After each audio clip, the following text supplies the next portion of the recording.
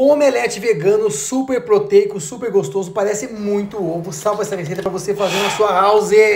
Vamos começar. Tofu, farinha de grão de bico, maisena, vai colocar também um pouquinho de water e vai colocar também é, páprica picante, eu acho, é, açafrão, sal negro. Isso dá gosto de ovo, realmente. Acredita em mim. Vamos bater, vai, bate, bate, bate, dá uma, aquela boa masturbada.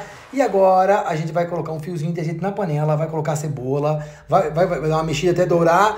Tomate, tomate, até dar uma murchadinha. Agora vamos entrar aí com a nossa cremança. Tem que sair do liquidificador, né? Tá, é, tá, tá, bem espesso, tá bem gostoso, bem proteico. Salsinha, dá aquela misturebes e agora a gente vai deixar cozinhando um pouquinho, ó. Tampa, vai deixar cozinhando aí sei lá, uns 7, 10 minutos. Fica esperto. Deixa, deixa, deixa. Vai ter que cozinhar gostoso, fogo baixo, obviamente, né? Vai queimar essa porra. E agora isso aí eu treinei uma técnica com os ninjas lá no Nepal. Olha que belezinha que ficou. Salve essa receita que os amigos e a família vão amar essa delúcia.